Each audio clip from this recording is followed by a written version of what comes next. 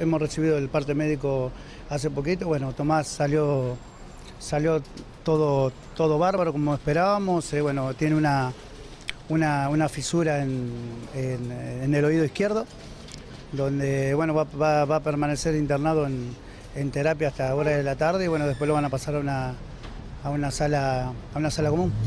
¿Está consciente? ¿Así llegó al hospital? Eh, el conocimiento en algún momento? No, no, perdió el conocimiento. A mí el de la ambulancia me dijo que eh, eh, estuvo, después que lo sacan de la cancha de Colón, tuvo unas 10, 12 cuadras que no, no, no, había reaccionado y después, después reaccionó.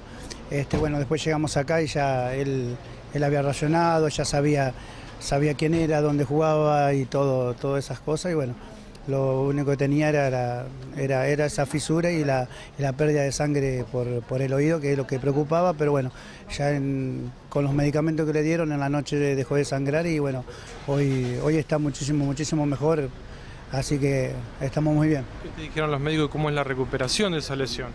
Y esa, esa lesión se recupera en eh, no menos de dos meses no menos de dos meses porque es eh, un hueso que se suelda, se suelda solo y lleva, lleva ese tiempo o tal vez un poquito más, así que... Dos meses sin actividad deportiva. Eh, se va evaluando, se va evaluando de acá a un mes para, ver cómo, cómo, cómo eh, lo van a tener que ver un neurólogo para ver cómo, cómo está la, fisura y bueno, y ver si, si puede, puede arrancar después del mes y medio con la con la, con, la actividad. Como padre, Gustavo, como y ex futbolista, ¿cómo lo viviste esto? ¿De dónde lo viste a esto que le pasó a tu hijo? ¿Estabas en la cancha, en tu casa? No, estaba en el palco, me quise tirar, me quise tirar del palco. Era una desesperación, más cuando vi que los compañeros llamaban a los médicos con las dos manos.